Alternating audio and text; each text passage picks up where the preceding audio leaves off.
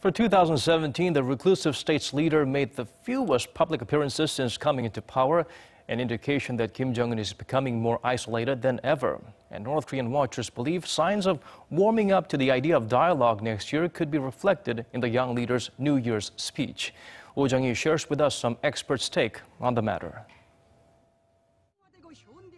North Korean leader Kim Jong-un made fewer public appearances this year than in any other year since he assumed leadership of the regime in 2012. According to Seoul-based Yonhap News Agency, Kim made 93 public appearances in 2017, a 30% drop from last year. Military-related tours accounted for over 40% of his appearances, with social and cultural events and visits related to the economy taking up about 30% each. Kim appeared at public events over 150 times in 2012 and over 200 times in 2013, but that number steadily decreased to around 170, 150, and 130 in the following years, hitting around 90 this year. Analysts say Kim at first aimed to solidify his grip on power as well as build an image of a friendly leader who's close to the people.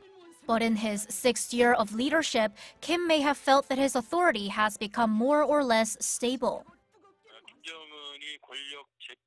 The recent drop in Kim's public appearances can first be attributed to the fact that Kim has completed the reshuffle of the leadership structure.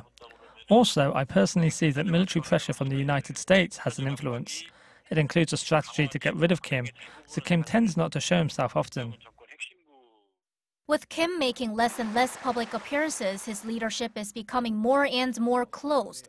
But pundits believe he could try to make room for dialogue with other countries through the upcoming New Year's speech, as the regime has announced the completion of its weapons program.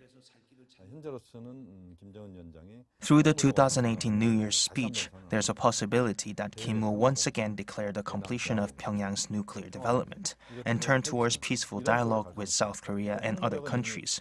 So how the international community responds to the North's move will be important.